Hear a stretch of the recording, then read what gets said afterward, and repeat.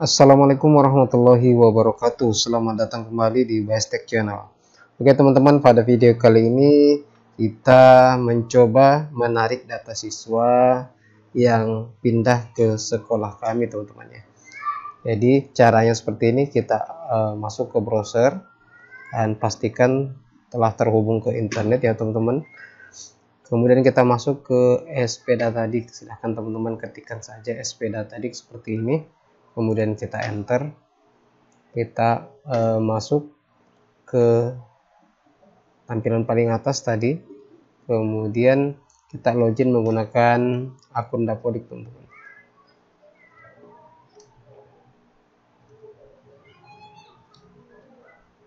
Kita tunggu. Oke kita sudah masuk ke SP data di Kemdikbud ya. Kita masuk ke bagian tab aplikasi teman-teman kemudian kita bisa klik mutasi. Oke silakan teman-teman ketikkan untuk provinsi kabupaten ataupun kecamatan sesuai dengan asal dari sekolah siswa yang pindah ke sekolah kita ya. Jadi kita kebetulan provinsinya masih sama kemudian berasal dari kabupaten yang berbeda yaitu eh, kabupaten tetangga kabupaten Tanah Tidung ya. kemudian kecamatannya ya, pastikan eh, teman-teman eh, operator sudah menanyakan kepada siswa tersebut ya. Ataupun bisa dilihat surat pindahnya untuk eh, lokasi sekolah ya. Jadi untuk provinsi kabupaten kemudian kecamatan sudah teman-teman mengetahuinya ya. Jadi kita masukkan untuk kecamatannya. Nah kemudian nama sekolahnya juga teman-teman silahkan diinputkan ini kita pilih nama sekolahnya.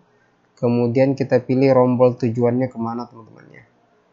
Ini silahkan dipilih. Nah kemudian kita pilih tampilkan. Jadi ini akan menampilkan siswa yang dimutasikan dari SMA terpadu unggulan satu tanah hidung teman-teman ya.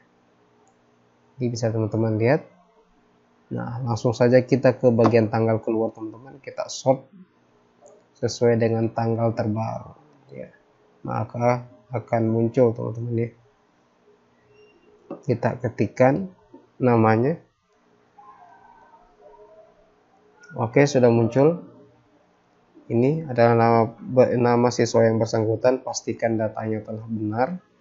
Kemudian kita checklist ya kemudian kita daftarkan teman-teman. Kita daftarkan. Oke peserta didik berhasil didaftarkan. Seperti itu kita sudah selesai di SP data didik. Kita logout saja teman-teman. Kemudian langkah berikutnya kita lakukan sinkronisasi dapodik ya. Oke, kita login menggunakan akun kepala sekolah, kemudian kita masuk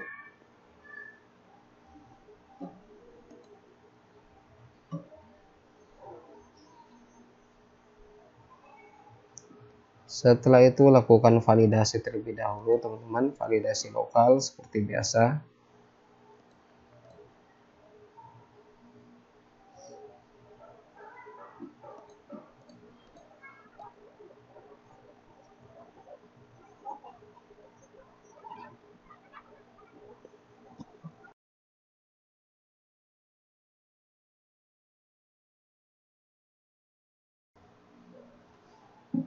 Oke, kita klik sinkronisasi, kemudian tunggu teman-teman.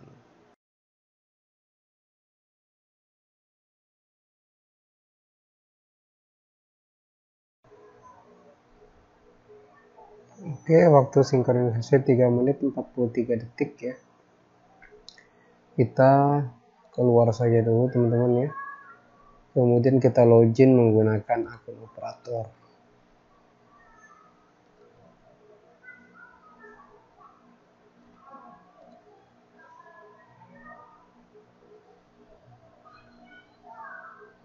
Oke kita lihat uh, jumlah siswa kita sudah bertambah satu orang teman-teman.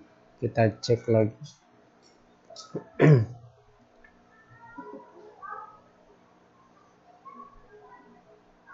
Oke kita cek namanya.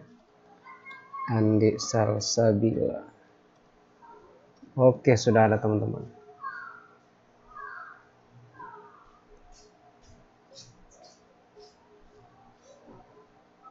oke semoga bermanfaat. Assalamualaikum warahmatullahi wabarakatuh